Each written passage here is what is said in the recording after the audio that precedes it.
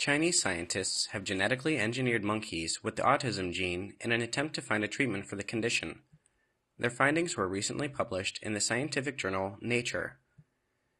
Researchers at the Institute of Neuroscience under the Chinese Academy of Sciences gave the monkeys copies of the MECP2 gene, which is thought to be linked to autism in humans.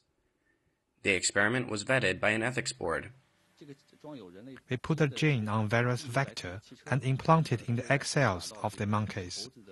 Those monkeys' offspring then carry the gene related to human autism. Monkeys carrying the gene, either within the first or the second generation, showed asocial behaviors like in human autism. Normal monkeys won't show such a behavior very often. Genetically modified monkeys started showing repetitive behavior at the age of one. They ran around in the cage repeatedly without changing direction. Previous animal studies of autism have relied on lab mice, far removed from humans in terms of genes and behavior. Qiu said he hopes his research can result in a breakthrough in treating autism in humans, either through genetic methods or using drugs.